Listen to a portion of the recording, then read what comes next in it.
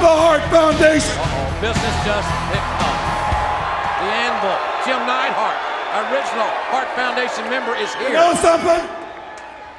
The Anvil's been hiding behind these sunglasses for about 15 years.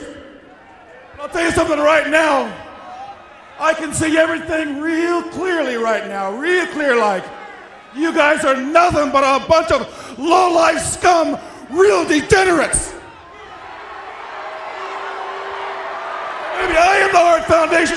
I am married to a Hart. And I'm going to take this advantage, this opportunity right now to come down there and kick your butt. You know something, Anvil? There's nothing standing between you and us except air and opportunity. But I want to talk about the opportunity, Jim. I want to talk about the opportunity. The opportunity that Bret Hart never, ever gave you, Jim. Ten years ago, ten years ago, when Shawn Michaels walked into the World Wrestling Federation, there was a tag team here more dominant than any tag team in WWF history, and the name of that team was the Hart Foundation.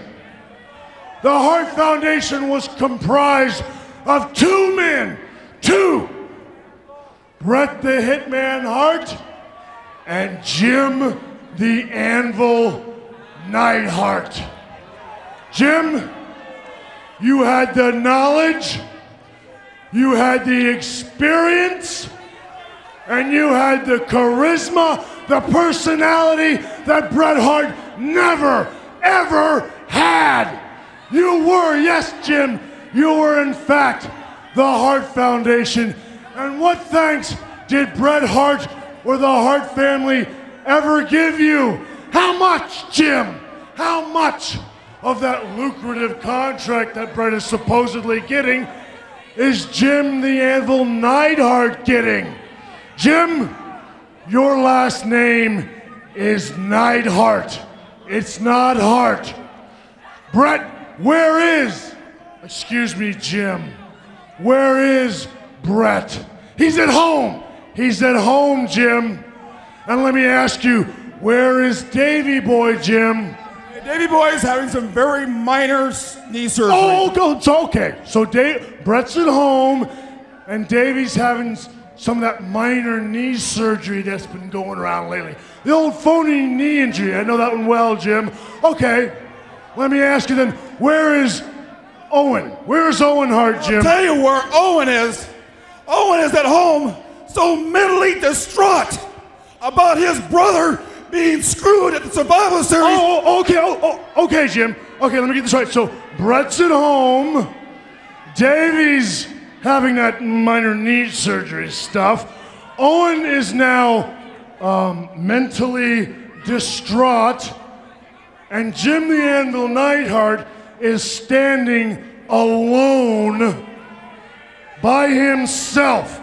Anvil, what I want to talk about is why are you here, Jim? Why are you here? I'll tell you why you're here, Jim. Because you have a wife and you have a family to feed, and you're here looking for opportunity.